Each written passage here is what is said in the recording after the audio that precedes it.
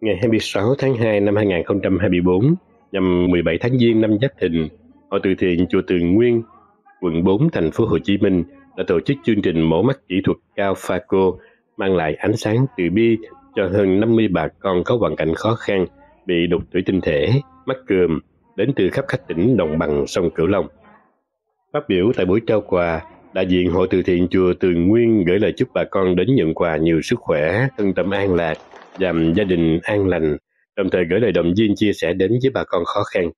Theo đó, tổng kinh phí chương trình mổ mắt là 75 triệu đồng do gia đình Phật tử Thiện Minh Diệu Tuyền, quận 7, tài trợ. Cùng ngày, đoàn cũng đã thăm hỏi và tặng tiền mặt 50 triệu đồng cho 25 bệnh nhân đang lọc máu tại Bệnh viện Truyền máu huyết học cơ sở 2, quận Bình Chánh, tặng thêm 10 thùng sữa, 30 thùng cháo, bánh kẹo cùng các nhu yếu phẩm khác